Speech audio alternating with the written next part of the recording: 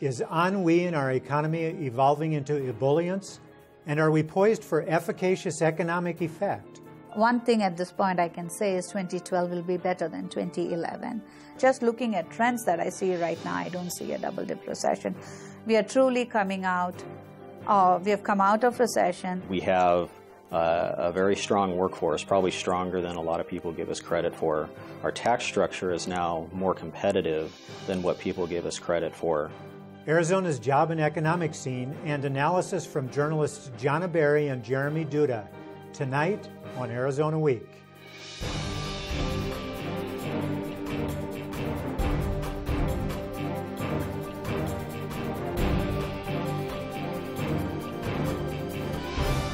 Once again, your moderator, Michael Chihak. Arizona registered a 22nd straight month of improved unemployment in January. Three economists say there's more to come. First, a look at the January numbers from the state's Director of Economic Analysis, Aruna Murthy. Tell us a little bit about the January unemployment numbers for Arizona. January's unemployment rate uh, dropped from 9%, the revised rate in December, to 8.7% in January. Um, uh, we lost about 34,300 non farm jobs. Job losses are very typical in January. Uh, we generally see post holiday season, uh, you know, reduction in staff. So it's nothing unusual that uh, January had a loss. But you pointed out that in January, the number was the lowest loss in more than a decade for Arizona jobs, right? That's right. Historically, when we look at the loss in January compared to the past 10 years, it has been the lowest loss. However, that is also um, a reflection of uh, leaner staffing that happened in the last quarter of 2011. So, although in October we had slightly uh, more uh, hiring than historic average, November and December had a lower uh, hiring than historic average. So if you average out the three months, you know, there was a leaner hiring than historically seen. So when you have a leaner hiring, you have fewer people that you can let go. Regardless, we are seeing trends of things getting better. And for the two years uh, continuously, we have been seeing decline in unemployment rate. And that unemployment rate peaked a couple of years ago at 10.8%? That's right. Uh, the unemployment rate peaked at 10.8 in November 09 and it was at, Nove- at uh, 10.8 for five months. So November to March, it was a plateaued at 10.8%, and then it declined, uh, started declining down, and now we are at 8.7%. And going forward, is there anything in the numbers that tells you what the rest of 2012 will be like? One thing at this point I can say is 2012 will be better than 2011. So my forecast for 2011 was 0.7% over the year growth, average annual growth. If you compare at what exactly 2011 landed up with, it was 0.973. So it's you know 0.2% better than what we had forecasted, which is good news for Arizona. The last time we visited with you in October, we talked about the possibility of a double dip recession. Do you see anything in the numbers or in your knowledge as an economist that would lead you to think that could happen still? Nothing in the numbers that I see. Again, in reality, a lot of things can happen. Uh, we still have uh, the European, uh, you know, the crisis going on there. So, don't know how it will actually pan out, but the likelihood of it actually truly affecting a uh, recession a big deal is limited at this point, but it's hard to say. You, you, know, the uncertainties in certain areas, things can happen, but just looking at trends that I see right now, I don't see a double dip recession. We are truly coming out, uh, we have come out of recession. The gain in employment, I've always said that in the past. This particular recession, the gain in employment has been slow.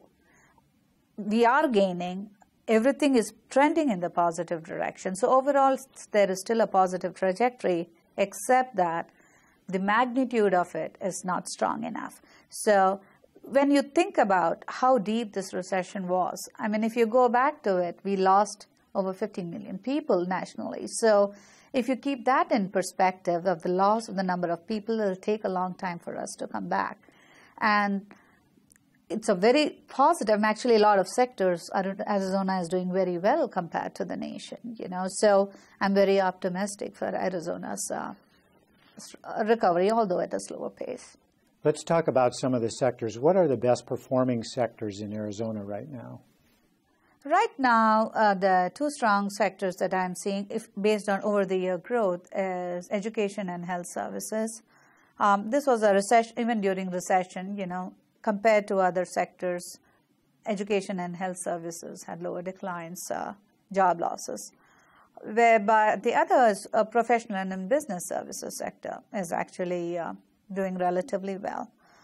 Um, if you compare, you know, leisure and hospitality sector has always been, you know, a strong sector for Arizona. So if you look at the leisure and hospitality over the year gain at right now, as of January, we are at 2.6% growth. Um, at the same level in uh, for US, we are at 2.8%. So we are pretty close with regards to leisure and hospitality. In healthcare, Arizona is at 3.7% as of January over the year whereas nationally we are only at 2.2. So we are doing way better in healthcare compared to the nation. Um, the other th- uh, sector we are doing way better is retail trade. Again, retail trade is a, a subsector within trade, transportation, and utilities. So retail trade we are growing at 2.3 percent compared to the national uh, of 1.3 percent. And what's going on in the construction sector? Because that's where Arizona suffered great losses in jobs, right? Yep. Arizona, with regards to construction, um, you know, we have a very lean construction workforce now.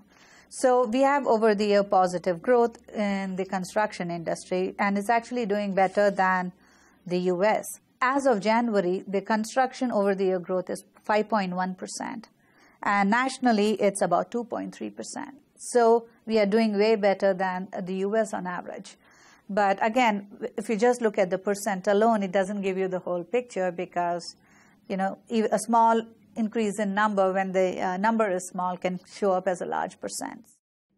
A private sector economist says the good numbers come with public policy strategies that can drive business in Arizona. Here's Jim Rounds, senior economist for Elliott D. Pollack and Company of Scottsdale. We just got the January unemployment numbers for Arizona Good news, unemployment rate down to 8.7%. Your reaction to what's going on trend wise?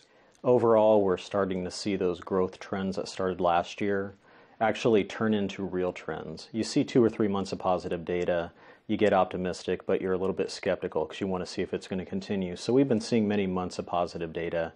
Uh, the the unemployment rate, I don't put a lot of weight on just yet because that only includes those individuals that are looking for work. And so, for example, at the national level, we've been promoting an unemployment rate of 8 to 9 percent. The effective rate is really around 13 or 14 if you count those disenfranchised people, the people that are underemployed. So it's a little worse situation, but you just want to look for improvement. So it's good that the data is a little bit more positive than what we saw last year, but don't put a lot of weight on that. I think focusing on the job growth and the job numbers are probably more important right now than the unemployment rate. Now, public policymakers everywhere are trying to figure out ways to grow the economy and grow jobs. And here in Arizona, it's no different. The state passed a big competitiveness package last year. Are any of the incentives that were voted on and have gone into place been making a difference from your perspective? I think you're going to start to see that difference probably in 2012. In fact, I think this calendar year is a year that people are going to point to where they feel like they're in economic recovery. We've been in recovery mode for a couple of years now, but 12 will be the year that we're starting to really feel it. And then 13, I think, is when we're going to see the economy accelerate, not quite to where we were during those wonderful times during the booms, but at least at a decent rate because we're seeing job growth statewide around 1.5%, in the Phoenix area around 2%, Tucson around 1% all those numbers are going to improve just because of the economic recovery. You throw in proper public policy, the economic development policies that have put into that have been put into place because they've been designed well, not like some of the other states that have been given away far more than they're getting in return. I think you're going to start to see that momentum build. Now, you and other economists were quoted just this week as saying that let's wait and see what happens with the incentives that have been put in place before we layer on more. Can you talk about that a little bit? Yeah, that, that actually ruffled some feathers, but sometimes you have to do that in public policy. Uh, w- what we saw is the competitiveness package had a lot of really good, solid provisions. We analyzed some, the legislature analyzed some, the governor analyzed some. It's a, it's a good package. Uh, I think we've gone from a state, though, that has been focused on let's do nothing but maybe cut taxes to induce growth, to let's create a lot of incentives. There's a lot of things that go into growth investment in education, physical infrastructure, in other words, roads, um, regulation policy, tax policy is a component. Uh, so there's a lot of things that go into it. I don't want us to go too far in the direction of just adding incentive after incentive after incentive. I want to add incentives, but investigate them thoroughly, review them, see if they're wise, see if we're competitive in an area before we add an incentive. And I think that we've added a lot of tools to the toolbox, but we still need to figure out what has that done in terms of our competitiveness. Are the things that are going on now going to help Arizona get away from the boom bust economic cycles that it has experienced? Uh, no, but that's not a bad thing. Uh, from the fiscal policy side, I actually don't mind the business cycle because it's a great opportunity to trim some of the fat in government. Now, this past recession, the past cycle was just horrific, and so we ended up having to make decisions because there wasn't enough long-term planning, and a lot of the uh, the depth of the recession wasn't anticipated. The recession was anticipated, just not the depth. We're we're a growth state. That's who we are. We need to embrace it. It's actually better to be a growth state and then figure out how to manage that than be a state like Michigan and figure out how do you keep people from leaving and not wanting to be in that location anymore. Arizona is not an economic island. So, what things are there out there that are out of our control, either policy wise or business wise, that are affecting our economic growth? Um, that's a difficult question because we, we have our areas of strength. People are going to prefer to locate here uh, as compared to, say, Detroit, all else equal. Um, we're actually well positioned in terms of access to markets. Uh, we're a great, lo- a great place for Southern California companies to relocate to. Uh, we have uh, a very strong workforce, probably stronger than a lot of people give us credit for. Our tax structure is now more competitive than what people give us credit for. You're doing some consulting work for the Commerce Authority, and you in the past have said that you think it's moving in the right direction. I want to ask if specifically you think the money it is investing from the, the deal closing fund is being invested wisely. The, the Commerce Authority, and this goes for a lot of the economic development groups. The Commerce Authority, GPEC, Maricopa County has their own economic development uh, uh, group these groups are being fundamentally sound with their policies. They're not giving away more than they're getting in return. In other words, if a company is going to be providing $5 million of tax revenue over the next five years to the state, they're going to be setting limits on the incentives so that they don't exceed some realistic amount, a reasonable amount, I should say. This is what some of those other states like North Carolina got away from. Now, the other side of the incentive coin is how do you strategically avoid giving incentives to businesses that probably would come here anyway? Because as you've pointed out, Arizona is going to grow. That's tough. That's very tough. And how you do that is you do your research. You set thresholds that are very high in terms of, um, in terms of, let's say for, for wages. Uh, the the threshold may be thirty-five to forty thousand dollars before they become eligible we're probably not a state that's going to be attracting eighty to ninety thousand dollar a year jobs on our own right now. The majority of the recovery is going to be in those industries where we lost jobs. We're going to be recovering a lot of thirty to thirty-five thousand dollar a year jobs. We're probably going to have to incentivize in some way those really high value added jobs. If we focus more and more on high value, you could virtually assure that you're only incentivizing those companies that truly would have gone elsewhere. Those were excerpts of interviews with Murthy and Rounds. See their complete interviews on our website, azweek.com. Joining me now is Laura Mwaniki Lyman, an economist with the University of Arizona's Economic and Business Research Center, to further discuss the state's emerging economy. Welcome. Thank you, Michael. The unemployment numbers came out this week, and you took a look at them. What did they tell you about how Arizona's economy is doing? Um, they were very encouraging because uh, unemployment rate went down to 8.7% from a revised 9% uh, in December. which is a very positive uh, indication. Uh, what is now happening is growth in various sectors that have been Arizona's most Arizona's um, strengths, which include um, education, social services, hospitality. Uh, we're looking at a direction of movement in the manufacturing sector, mostly high tech. Now, in that realm, innovation is the byword of the day. Everyone talks about it. Is Arizona well positioned for innovative businesses right now? Arizona has the resources it needs to be creative and disseminate and implement knowledge uh, as new products, processes, and services that provide value added advantages to farms. However, compared to its peers, Arizona seems to underperform. Um, a study by the Milken Institute that looks at uh, the state of Arizona in comparison to other states in the way it transfers technology to the market in a 21st century economy indicates Arizona ranked at, 12, at 19% sorry, in 2009 compared to 17% in sorry 17 in 2007. So there have been some improvement there, but not not enough. Is that right? Uh, actually, Arizona has underperformed because the, the, numbers show that they've dropped. Arizona has ranked 19 from 17, and it has underperformed in human development investment and in funding, uh, providing capital funds, uh, risk capital, and venture capital to small businesses and enterprises. Now, when it comes to our labor pool, does Arizona have the labor pool it needs to be able to compete in the in- innovative economy?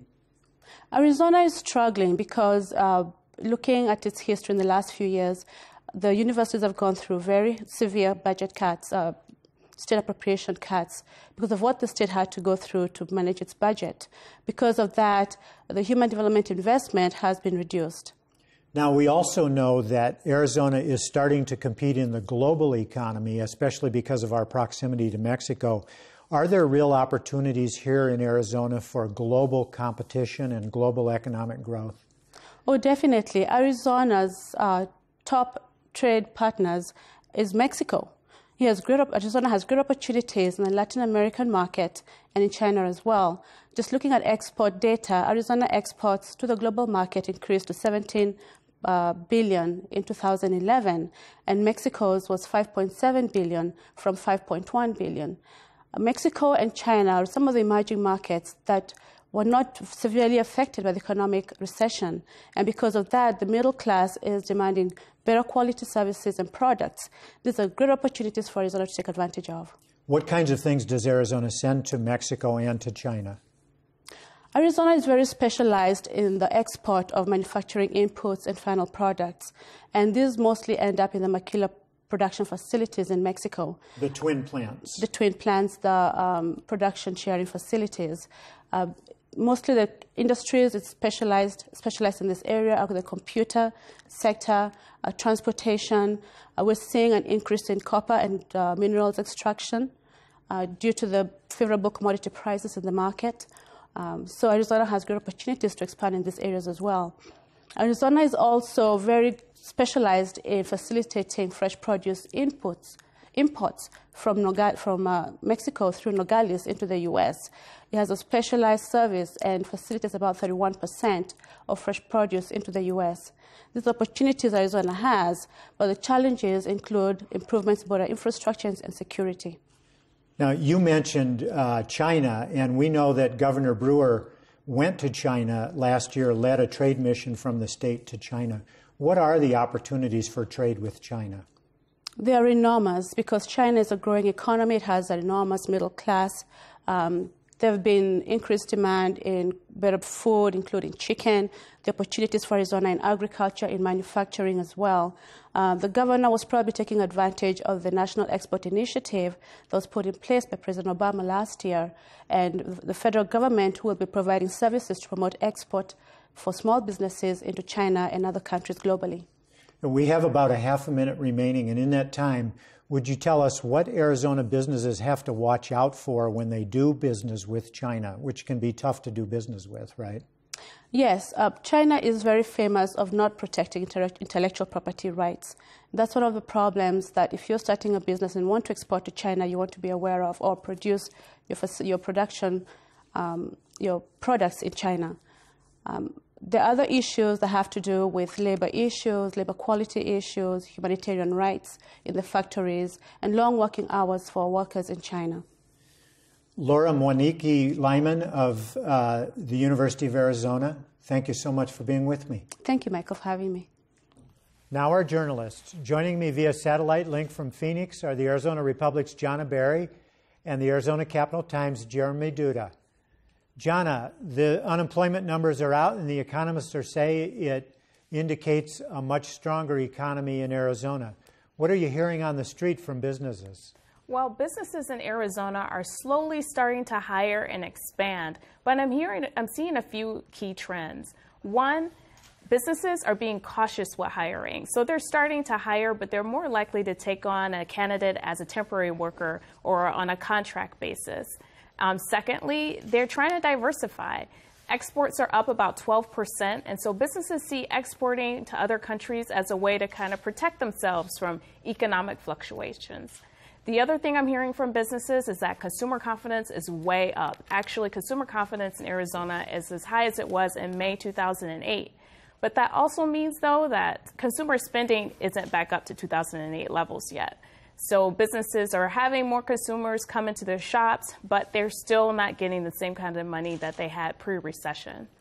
And Jana, what, uh, what specific sectors are we seeing the opportunities come up in? Are there any? Well, traditionally in Arizona, private education and healthcare are the growth areas, but I would take that a step further. I would say one thing I'm seeing a lot of is one, the hidden job market. So these there are a lot of jobs that are being open, that are being filled, that are not being advertised, which is why it's so important for people to get to know folks at the companies where they would like to work because a lot of companies just aren't posting all of the information and all the jobs that are available. The other thing that I'm seeing is hot pockets within segments. So, for example, in technology, where not all technology jobs are hiring, but software developers in almost any industry are in big demand.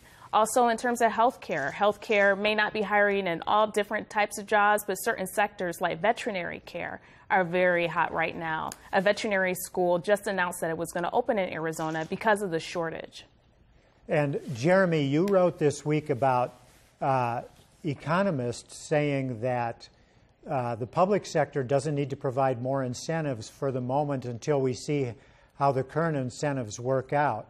Public sector is probably saying, well, look at the, what's happening with the numbers, so they are working out. But would you talk a little bit about what you found in that story? Well, we, well, in the past few years, we've gone from being a relatively low incentive state to, just in the past couple of years, you know, having a lot of these things on the book. Especially, we passed this, you know, blockbuster uh, tax cut and tax incentive bill last year, the competitiveness package that um, you know, put a whole bunch of these things in the book. It created the Arizona Commerce Authority, and they kind of dole these out. But still, this year, there's a lot of folks who you know say we needed to do a little bit more, cut capital gains taxes, create you know help get uh, capital to businesses, you know various tax credits. The motion picture tax credit is coming back. So there, there might be a little bit less impetus for this stuff now because, uh, as John said, the economy is improving. But everyone still wants to do something. They still want to try and help out businesses, especially in rural areas, especially in an election year, of course, too. But of course, the economists, as uh, we heard Jim Rounds say a little earlier on the program, are, are saying, let's wait to see how this, these work out. We don't want to give away too much. Uh, what are you hearing from the public sector in response to that? Well, it depends on who you talk to. You know, one of the arguments uh, you know that uh, Jim and other economists will make is that these things, of course, do take money out of the state's treasury. And the argument that the proponents will always make is that they're going to bring in more jobs than they or they're going to bring in more tax revenue through these new jobs, through more economic activity than they end up costing. But a lot of economists, I know Jim feels this way in large part, is that a lot of them feel that that's not really the case. There isn't really a lot of evidence that these things really do increase economic activity enough to offset the costs. And in the end, if that kind of uh, you view that that kind of discourages you possibly from making other uh, you know changes that'll make the state more attractive to businesses. If you just say, well, we've done this, we don't need to you know improve infrastructure, education you know, that kind of thing. And so there's a lot of concerns with with increasing this, especially since you know these things have only been on the on the books most of them for about a year. We don't really know what effect they're having. And Jana, what are you hearing from businesses uh, and even people looking for work about whether any of these incentives are making a difference at this point? Um, in terms of the incentives that the uh, state has provided so far, like for example, you know, we have this new Commerce Authority um, that says that it's attracted 3,000 jobs to Arizona and led to $150 million in investment. Um, I think if you talk to the average business and job seeker on the street, um, they would probably tell you that it would take a long time for that kind of investment to finally kind of filter its way down to ordinary people in Arizona. Um, keep in mind, Arizona lost about 300,000 jobs during a recession. So that 3,000 jobs that's been attracted to Arizona is only a really small fraction of what we need to make up. And so, as long as we're on that topic, Jana, what are the estimates for how long it's going to take Arizona to be made whole again in that regard? In other words, regain those 300,000 jobs plus whatever the population growth is in the meantime? Well, it's kind of funny. It seems as though every time Arizona economists get together, the estimate gets a little bit further off. So, uh, the last time economists uh, came to consensus on this, uh, the estimate was it would take about three to four more years. So, that would be about 2015 in order for Arizona to get peak employment um, again, which is the amount of jobs that we had prior to the economic collapse. Jeremy, what are you hearing uh, uh, at the Capitol about whether they're going to continue to push these incentives, even though the economists say there's not a lot of proof yet that they're having an effect? Well, ever, everyone who's interested in these things is still going to continue pushing them. There's a major bill uh, being pushed through by uh, Representative J.D. Mesnard, and this is uh, in conjunction with House Speaker Andy Tobin, something he's been working on for a long time. Cuts capital gains taxes, uh, implements some tax credits for, reg- for regulations. So nobody's really going to stop. Um, but what a lot of economists say is we don't really need to have the best incentives. We don't need to have the lowest taxes. We need to be competitive. And we might be running into an area where we have some uh, you know, diminishing returns now if we just keep piling these things on top of each other. And, Jana, uh, we have just about a half a minute remaining. And in that time, give us some sense of what people are saying on the street, people looking for work. Is there more optimism in the workforce that things are getting better, as we're hearing from businesses and economists? Um, when I talk to job seekers, they say that in certain segments and certain industries, they're definitely seeing more job openings. But I think that what they're also seeing is that the job market has kind of changed permanently. So there's always going to be a lot of competition. There's go- always, probably from this point onward, going to be more computer screening of job applications. Also, a lot of job seekers have said for the jobs that are open, wages, frankly, are lower than they were when the recession began. That's our program for Friday, March 9th, 2012. We're a little more than five weeks from the special primary election in Congressional District 8, and you can stay informed about the candidates and issues at the Your Vote 2012 Election Center at azpm.org. For Arizona Week, I'm Michael Chihak.